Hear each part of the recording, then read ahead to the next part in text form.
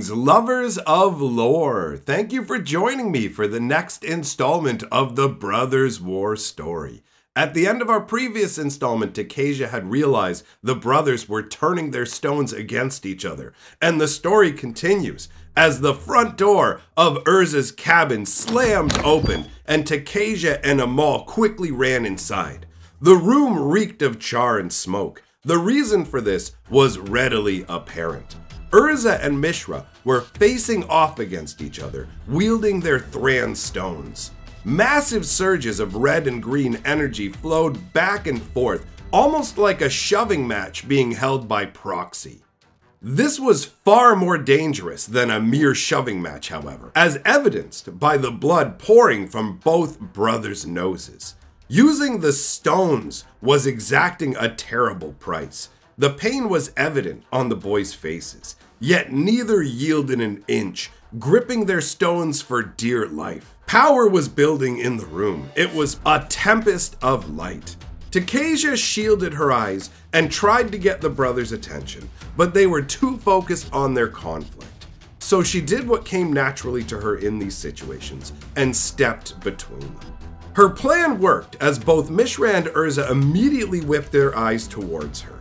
Unfortunately, this shattered the brothers' concentration, and the massive power they had brought to bear against each other was now released in a giant chaotic blast. Urza's cabin exploded, smashed to bits that rained down over the crowd gathered outside.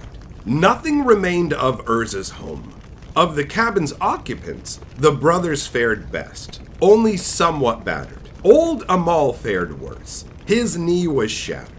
But that was nothing compared to Tocasia. Her body lay broken and twisted. Urza drew her lifeless form into his lap, tears flowing freely down his face. This was the first time anyone in camp had ever seen him cry. Mishra knelt beside them, sorrow plain on his face. Urza looked at his brother with such hateful revulsion that Mishra involuntarily leapt back. He opened his mouth to say something, but quickly snapped his jaw shut and fled into the night. Tocasia was put to rest the next day. Mishra had not returned, and Urza refused to leave her side. Even after the funeral rites were completed, he remained. And that's where Amal found him still the next morning. He had not moved all night. Amal spoke into the solemn silence. We must send the students in camp back to Penregon. From the look in Urza's eyes, Amal could tell that he had basically forgotten that everyone else existed. We must stay, he said determinedly. With Tocasia dead, the Falaji will leave. They would have stayed for Mishra, for he dwelt among them, but you are not well known to them. Urza's face hardened. We will just get other diggers. It is not so simple, young Urza. To continue, you will need soldiers. You are no longer safe. I hear mutterings amongst my people that you killed Tocasia and chased Mishra off to hide the truth. Urza was crestfallen. I can't believe they would think that. I miss Mishra too. I have no clue where he went. Amal reached out and placed a fatherly hand on Urza's shoulder, but Urza pulled back and Amal let his hand fall back by his side. Reluctantly, he gave Urza one long last look and walked quietly off. Word of Tocasia's death spread quickly, and an evacuation was organized. The nobility back in Penregon were panicking about their children. The ornithopter that had been sent into the city with the bad news about Tocasia had returned bearing Loran, a former student of Tocasia's. Urza helped her sort through Tocasia's notes, spending a few days in the process, while ornithopters flew in shifts searching the desert sands for Mishra. Despite their best efforts, he was nowhere to be seen. Urza ultimately decided not to return to Penregon. His so called mother would not be pleased to hear from him, and he had no other family but Mishra who was currently lost to him. He couldn't bear to watch the camp disintegrate before his eyes, so Urza bid Amal farewell and left with a group of Falaji that Amal had confirmed did not hate him. Amal could see defeat in every movement as they left. Urza had lost everything. He departed with the clothes on his back, a walking stick, and a few cracked power stones. He had lost Tocasia, Mishra, and now his only home. The caravan Urza traveled with left the sands of the desert behind, making its way into the nation of Yotia and ultimately stopping in the capital city of Kroog, the city being named after the warlord who ruled it. Urza bade farewell to the Falaji and headed into the city proper to seek employment. He first went to the temple schools, offering to work as a scholar. Unfortunately, Urza was from Argive, and Argive was not a very religious nation. As a result, Urza had never been schooled in matters of religion, so the Yotian temple priests turned him away. Urza then turned to trying to join a guild, but each time he was turned down. Yotian guilds wanted to hire Yotian citizens. It took three long months of searching before Urza finally found a minor member of the Jewelers and Clockmakers Guild who would take him on. And that's how Urza came to work for the grandiose Rusko the Clockmaker, being paid barely more than a roof over his head. They worked together in a cramped little squat building that was cram packed with clocks along every wall. Rusko was a fat, balding, bespectacled hustler, but he had a special place in his heart for Urza. At first, Rusko was happy to have such a loyal apprentice he could work like a dog. But over time, it troubled Rusko in that Urza was so serious. So when the opportunity to breathe some joy into Urza's life presented itself, Rusko leapt at it. The opportunity came in the form of a princess, one Kayla bin Kroog, daughter of the warlord Kroog. Kayla was renowned for her beauty, raven haired, with eyes that were liquid pools of darkness, and dressed in the finest silks. Kayla appeared unexpectedly one day at Rusko's shop. She was in search of a clockmaker. Rusko fumbled over himself, not able to decide between boasting and groveling in reaction to being graced with a royal presence. Most glorious majesty, your Lumescent's presence in my shop is an honor beyond compare. Rusko almost fell over his own fat belly attempting a courtly bow. Kayla favored him with a smile. You are a clockmaker? Rusko beamed proudly. Majesty, you stand in the house of Rusko the Clockmaker, ever at your service. Excellent. I am in need of assistance with this. As she said it, she drew out a silvered rectangle from a bag at her hip. Rusko leaned in eagerly to see what she was holding. The box she held was shined to such a brilliance that at first Rusko couldn't even see that it was silver. He accepted the box and gently inspected it, turning it over in his hands, pretending he knew what it was. Ahem, he said, no clue how to proceed. Kayla picked up on his cluelessness. This music box no longer functions. Rusko didn't miss a beat, pretending he'd known this all along. Ah, for something this routine, I call in my apprentice. He will handle it for you. Rusko bellowed towards the back of the shop. Apprentice, you are needed! Kayla started when she saw Urza rise from the back of the workshop. He had been in the room the entire time just working away? This had never happened before. Everyone was always excited to see her wherever she went. How could he ignore a beautiful princess? Urza stopped his work, stood up, and walked briskly over to join Rusko and Kayla. How may I assist you, madam? he inquired. Rusko leapt in. The princess needs her music box fixed. Rusko really leaned into the word princess, trying to impress on Urza just who they were dealing with.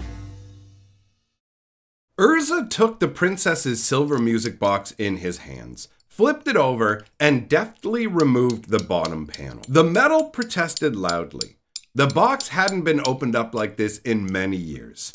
And Rusko turned a sickly green, imagining the cost of having to replace the royal music box if Urza had just broken it. The inside of the box was a confounding array of gears. Urza peered inside for a moment and then slid a thin tool from his pocket and placed the tip of it gently inside the music box. A flick of his wrist, and there was a tiny, satisfying snap of a loose gear moving back into proper alignment. Urza looked pleased as he reassembled the box and returned it to the princess. She favored him with one of her best smiles as she opened the music box's lid. The smile fell from her face as no music played, and Rusko's face went white. Apprentice, have you broken this fine lady's ancient heirloom? The way that Urza responded to Rusko would make any onlooker think that Urza was the master. The box must be wound. He turned to Kayla. Did you bring your key? Kayla was dumbfounded. This was the first she had ever heard of any key. Urza read the confusion on her face and walked to the back of the workshop. He rummaged around and found an ancient rusty cylinder with old bronze fittings. The thing was pitted and dull, its rough common nature a direct contrast to the filigreed beauty of the music box. Urza inserted the key into the music box and gave it a few turns. Opening the top caused music to spill forth. This music box was well built, so the music carried none of the cheap tinniness of lesser made boxes.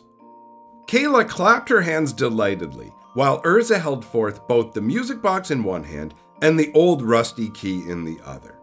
Kayla graciously took the music box from Urza, while at the same time, Rusko's hand reached out viper quick and snatched the key from Urza's other hand. Rusko presented the key with his version of a courtly flourish. Majesty, I present to you the key of Rusko. Pride beamed from his face. Kayla looked at Urza and spoke. You have my thanks, Rusko. Urza's face twitched, trying to hide his amusement, and he could hear Rusko choking on his own disbelief.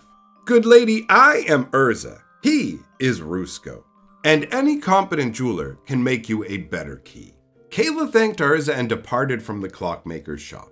Rusko raced to the window to watch her depart. She stood outside the door staring down at the rusty, unremarkable key with a bemused smile on her face before sliding the key into her bag. Rusko did not leave the window until the princess was completely out of view. When he finally walked away, he had a look on his face that Urza recognized as half wonder and half greed. Kayla bin Kroog, the princess, was in the house of Rusko. He sauntered over to Urza. Such a beauty, the fairest in all of Kroog. Urza shrugged. If you say so, I was just trying to fix the music box. She had an interest in you, my boy. I saw it in her eyes when she looked at you. Urza interjected. Speaking of the key, what was all that about the key of Rusko? Rusko's face split with a big grin. Rule number one always stamp your name on every creation. It grows your reputation. A thousand years from now, the people will still remember Rusko. Anyhow, you are trying to distract Rusko. Admit that the princess was a vision. Urza sighed. He knew when Rusko wasn't going to let something go. Very well, she was breathtaking, a rare beauty indeed. But what of it? We shall never meet again. I may as well be about my work. And with that, Urza strode back to his workbench and set to work. Rusko rolled his eyes, but decided to bide his time. A month rolled by before he found his chance. As it turned out, Kayla bin Kroog had been betrothed, but her husband to be had been in a shipwreck. The warlord of Kroog was furious. He doted on his daughter, and the man who had died in the shipwreck was the only suitable candidate to marry his daughter. To find a new husband for Kayla, the warlord created a test. A towering 20 foot high jade statue in the likeness of the warlord was placed in front of the palace by a team of strong men. The challenge was to move this jade statue the entire length of the courtyard. The warlord wanted only the strongest of son in laws. When Rusko told Urza of the contest to win the hand of the princess, Urza said, that's the most ridiculous thing I've ever heard in my life. Rusko persisted. It is the highest romance to vie for the hand of such a glorious treasure as she, worthy of a legendary story. Think of the tale of Titania and Alorian. Urza stared at Rusko incredulously. Alorian gets ripped to shreds by Titania's hounds! Rusko tisked at him a minor detail. A royal prize is worth the risk.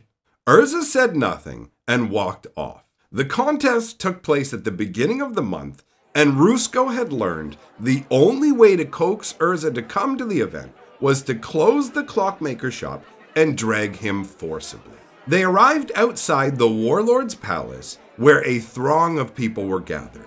Most of the city was here to watch the spectacle. A line of hulking behemoths, more muscle than man, waited to take their turn. A massive gong rung out as a giant man gripped both sides of the statue and tried to lift it with no success. A second gong rung out, indicating the attempt was over. This process repeated itself with minor variations. Urza watched as some poor fellow obliterated his back trying to jerk lift the statue. Another unfortunate man managed to crush his fingertips under the statue. As he screamed in pain, Urza looked over at Rusko. Romantic. Rusko waved it away. They have a healers. He will be fine. Urza looked over the line of failed champions. This is a terrible way to choose a new leader. Whoever can carry a big rock? Insanity. Let's just go. Rusko nodded and led Urza on a path that took them by the royal pavilion. Rusko made a big show of bowing low with an ingratiating smile before Kayla and the warlord, while Urza gave a perfunctory nod of respect to the royals. Rusko leaned in as they walked away. The princess had her eye on you. She had a big smile on her face. Urza dismissed it. She smiled at everyone. I feel sorry for her having to marry one of those. He trailed off and stopped walking, staring off to the side of the pavilion. Rusko followed his gaze. Chests of treasure, dripping with gems and gold, ancient relics, and golden crowns. It truly was a king's ransom. But Rusko was surprised. You never really seemed to be that interested in gold. I guess every man has his price, all right? Rusko surely does. As he said it, he slapped Urza good naturedly on the shoulder. But he could see that Urza was fixated. Urza said one word Thran. Rusko had never heard the word before, but he could hear genuine excitement in Urza's voice. Rusko, why is there a Thran tome on display here? Rusko smiled. Ancient tradition in Kroog is to provide a dowry. Whoever wins the hand of the princess also gains the treasure. Urza nodded. Are you familiar with someone named Jalum? The glyphs on the book mention that name. Rusko looked thoughtful. Many years ago, in the ancient days of Yotia, there was a Jalum. He was most likely an academic of some sort. Urza smiled as he looked between the pile of treasure and the princess. Master Rusko, I do believe it's time for me to move a statue. This statement produced a gale of laughter from Rusko. After he recovered, he said, My boy, may as well try to put the moon in your pocket. Urza turned to Rusko with determination in his eyes. This moon is not out of my reach. He sounded so confident that Rusko almost believed him. And that ends this installment of the Brothers War lore. I hope you enjoyed meeting Rusko. He's one of my favorite side characters in the story. If you enjoy what we're doing here, consider supporting us on Patreon. Go and watch some other lore. Enjoy yourself. I'll see you all for the next one. And remember, my friends, lore is life.